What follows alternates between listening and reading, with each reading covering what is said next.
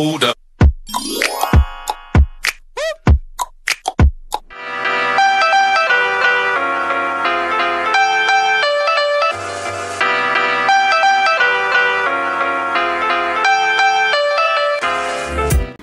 Hi, welcome back to another video and for today's video I'm gonna show you what I eat in a week and how I make my breakfast um, every morning. So this video is gonna be a breakfast edition and some healthy food to eat.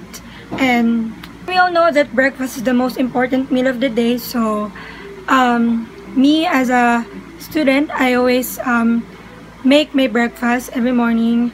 And I make sure that I ate a healthy one because it really ano it really boosts my body and my, ewan ko lang no motivate ako pag maganda yung breakfast ko or pag yung breakfast ko is full of nutrients sobrang energetic na ako buong maghapon. Nakakagawa na ako ng mga bagay na natatapos ko yung mga tasks ko um, immediately. And yeah I just love making my breakfast. So without further ado let's go on to the video. Mm, baby shampoo come and save me. I've been missing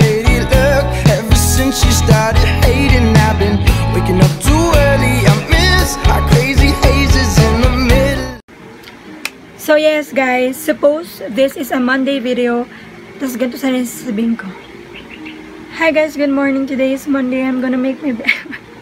But then guys, I forgot to film my vid. I forgot to film that day. And then, excited ako because my breakfast that day is very familiar to me and one of my favorite then. So it's a salad. But, yun, pinrepare ng mom ko. Pero ako na lang yung naglagay ng mga kailangan ilagay. And, by the way guys, lahat ng ipapakita ko sa inyong breakfast for today is available lang talaga siya sa market or sa bahay. Like, hindi siya talaga mahal. Like, sa photo nyo lang talaga siya nakikita na parang yung sarap naman ang mahal. Pero yun, kailangan mo talaga maging creative sa life at sa mga bagay na gagawin mo.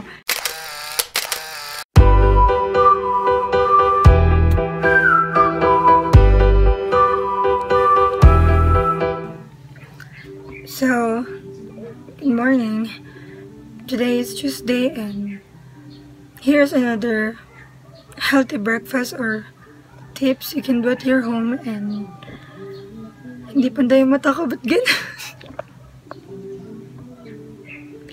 so, today I'm planning to make um, peanut butter with bread. And I don't know. But I am but I am sure that I'm gonna make a tea today and hindi ko kasi alam kung ano pa yung available na food sa baba. So, usually ganun lang ako mag-prepare. Kung ano yung available and then kung ano yung magmamatch. So, it's already 6.35 and I woke up like 6 and I just check my notifications and then do my journaling and let's go on and make some breakfast.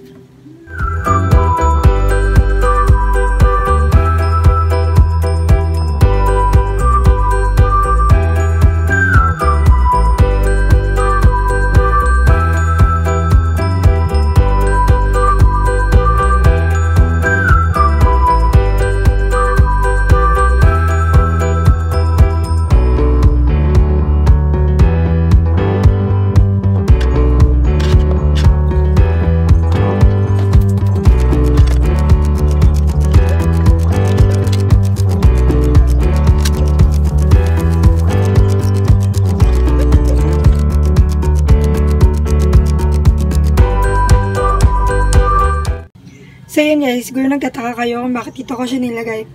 Last night, I was searching sa Pinterest and nakikita ko talaga itong mga board na to na ginagamit nila for food. And I was like, ang dami namin ganito sa bahay, tapos hindi na, tapos feeling ko ano ang purpose niya lang, i-chop-chopan lang. Pero ngayon, nakita ko yung panibagong purpose niya.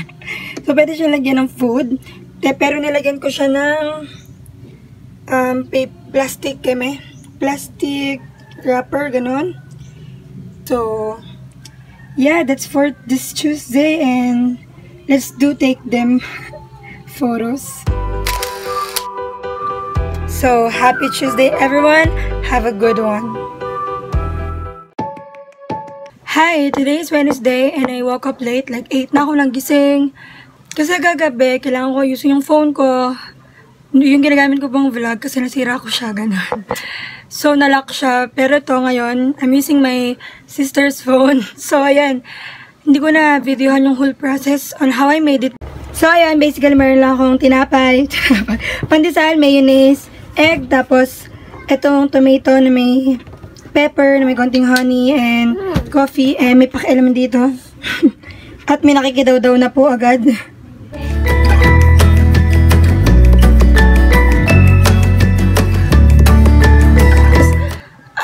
Lang yung ginawa ko ngayong Wednesday. Nalito ko talaga ng gising like 8 na, ganun. Oo, ganun na yung time. Yeah, magna 9 na. So, wala nang araw. Kita nyo naman sa mga video ko, ganun. Tapos, kailangan ko ding mag-aral ngayong umaga, and then hapon, and then kagabi din, I finish my schedule for this week. Kasi kailangan kong matapos yung inaaral ko within this week. Kasi next next week ay examination ko na. So, yeah, I see you guys tomorrow for the next breakfast.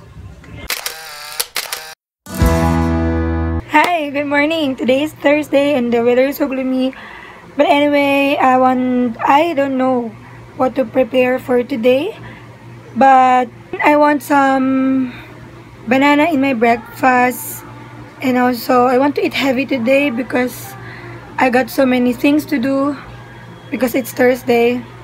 I, I want to make a tea, but I want to make a coffee. Like, pero parehas na lang inumin. And yeah, let's go prepare some breakfast.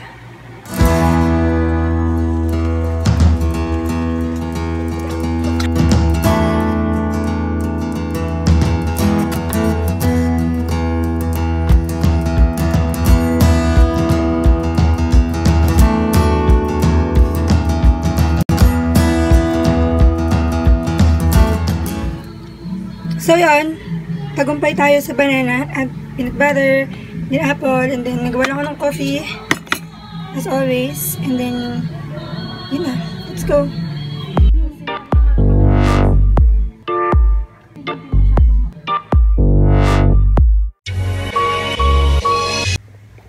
Hi, good morning. Today is Friday and today is the last day of me preparing my breakfast and I just woke up again as always.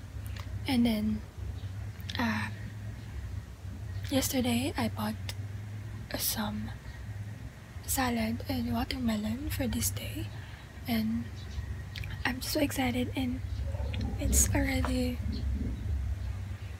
6:46, and yeah,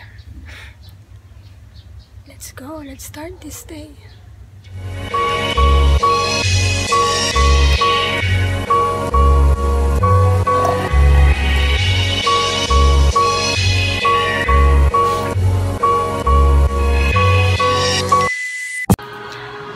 So, I decided to eat my breakfast here outside. Usually, sa kwarto ko kumakain. Pero ngayon, makalat dun sobra kasi kung ano nang ginawa ko kagabi. Pero yan, let's go.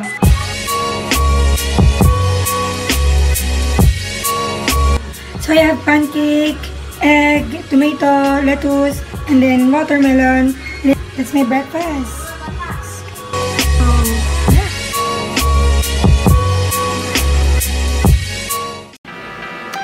So yeah guys, that ends my video and I hope you like my video and thanks so much for watching my video. Puro video, puro video. And yeah guys. So be safe and healthy and don't forget to eat healthy breakfast every morning. So always remember that you are destined for greatness. Bye! See you in next vlog.